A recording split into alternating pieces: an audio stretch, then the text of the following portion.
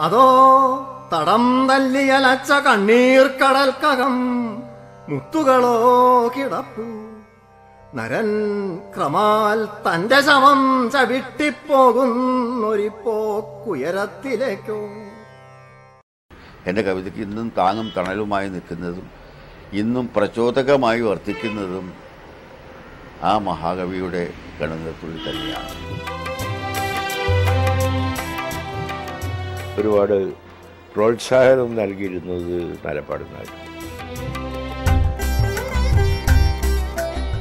ആ പുസ്തകം എന്നെയും സ്വാധീനിച്ചിട്ടുണ്ട്.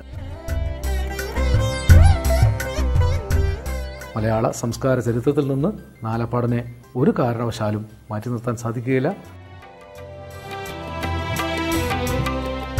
വള്ളത്തോടിനെ പോലും പ്രചോദിപ്പിച്ച ഒരാളെ അദ്ദേഹം മലയാളിയുടെ മനസ്സിന്റെ ചക്രവാളങ്ങൾക്ക് മീതെ ഒരിക്കലും കെട്ടുപോകാതെ ഉദിച്ചു നിൽക്കുന്ന ഒരു ഏകാന്ത താരകമാണ്.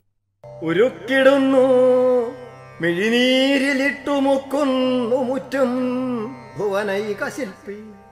മനുഷ്യഹൃത്താം കനകത്തെ ഏതോ പണിത്തരത്തിനുപയുക്തമാക്കാൻ